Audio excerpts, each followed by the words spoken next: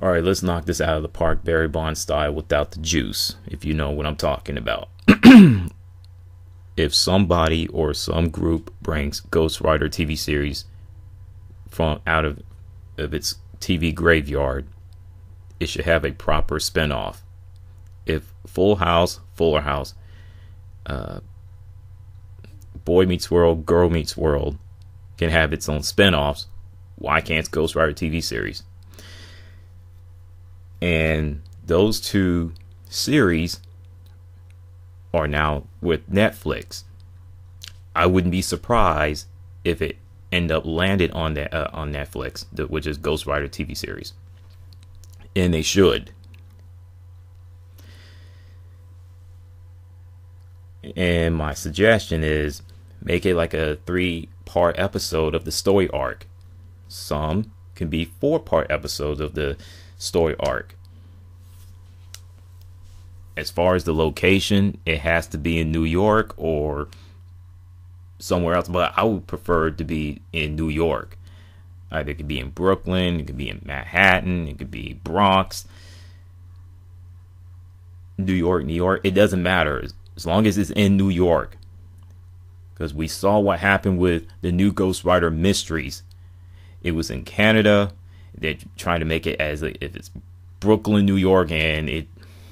You know how I feel about the new Ghostwriter Mysteries. I don't hate Canada. I don't hate Canadians at all. I don't. I just don't like the series for what it was and how it turned out. And plus, it felt more like a reboot than a spinoff.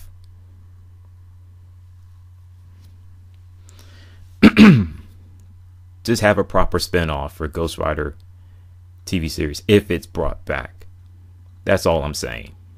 Now, as for the the best story arc, the worst story arc, the most overrated story arc, and the most underrated story arc, let me get the best one out the way.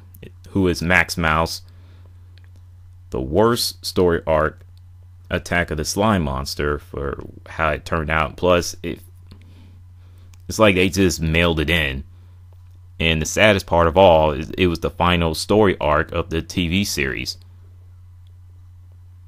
and that was on uh, season three, which unfortunately was can- the Ghostwriter TV series was canceled after the third season due to its lack of funding, and had very little to do with the case.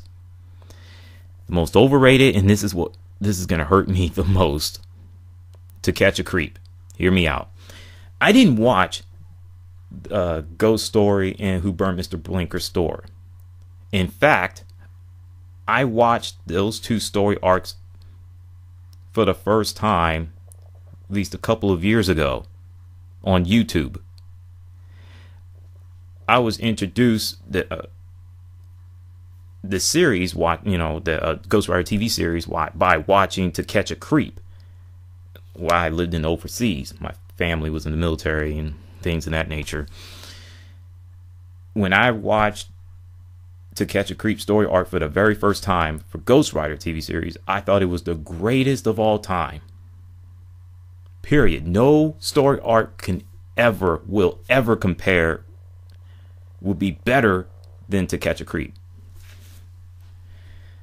Now I, I watched it a couple of few years ago and I was like, yeah, it was good, but not the greatest of all time. I put it on the pedestal, and I think that was incredibly unfair.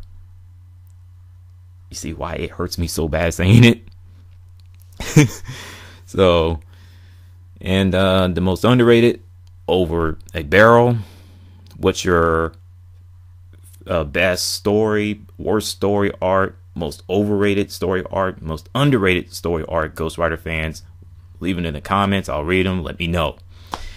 And before I go, there are more positives of the Ghostwriter TV series. It it's like a Fox hit TV series Empire in the terms of star power. You had that woman who played in the Cosby Show, uh, who plays Doctor what was it, Doctor Huxtable, Doctor Huxtable's wife.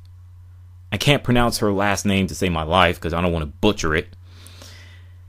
Uh, Samuel L. Jackson, Jeremy Miller, Julia Stiles, MTV's VJs Dr. Dre, Ed Lover, and more. And when I saw uh, Samuel L. Jackson played as Jamal Jenkins' dad, I'm like, he was on Who Burned Mr. Brinker's Store. I think it was. Hold on. Just want to make sure because I don't want to screw it up. Yeah, he he played on Who Burned Mr. Brinker's Store. I was like, really? Samuel L. Jackson. Ain't that something? Ain't that something? And um, they will have like a group group meeting they call a rally, which uh, they'll have um, they'll put their name initials and have Ghostwriter go out and manipulate words and where the Ghostwriter team can see it and like, okay, something's something's wrong, something's going down, something's important. Let's go out, have a meeting, things in that nature. It's kind of like a little text message, you know. But back in the '90s, you didn't have a, a cell phone, but well, in the early mid '90s. So that was really cool. And um,